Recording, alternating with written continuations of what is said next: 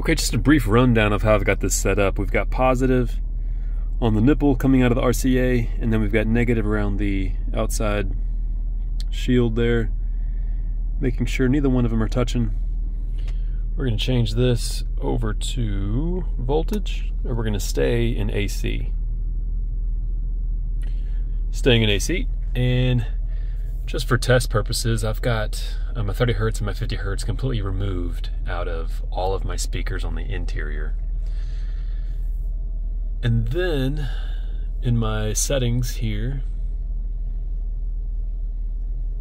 I've got my subwoofer pre-out because there's a front stage pre-out, there's a rear stage pre-out, and then there's a third and final pre-out on this Joying head unit.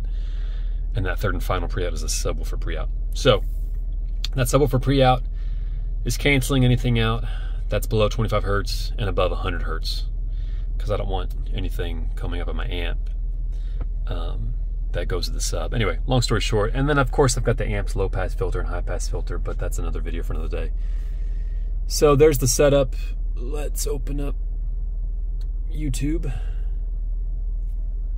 And then let's play a 50 hertz tone.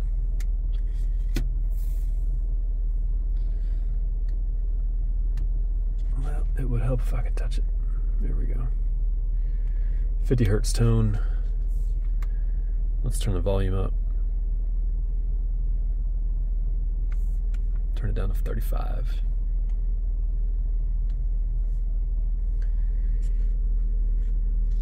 Let's come out to widescreen, wide shot. Okay, there we go. Now it's playing. I'm seeing 0.56. And if I turn this up to the 36, to volume 36, the loudest it'll go, I get 0.62, 0.6. Yeah, 0.62.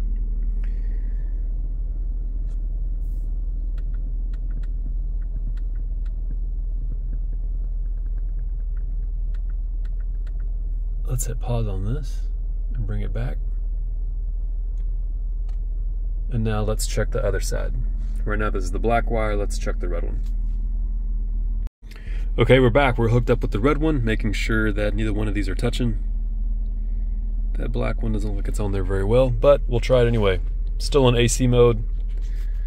Let's play our 50 hertz tone. This is at volume 7. Barely any voltage. Let's turn the volume up. Volume 25, 0.176 volts. all the way up to 36. 0.628. So 0.62 plus 0.62, what do we at? 1.24. So 1.24 volts is what's coming out of my subwoofer pre-out. There's only one subwoofer pre-out on the Joying. And then I, I made a Y split. Let's lower this. I don't know why my speakers make a little bit of a popping noise when I lower the volume. It's barely audible, but I can hear it. So yeah, uh, it's a Y splitter.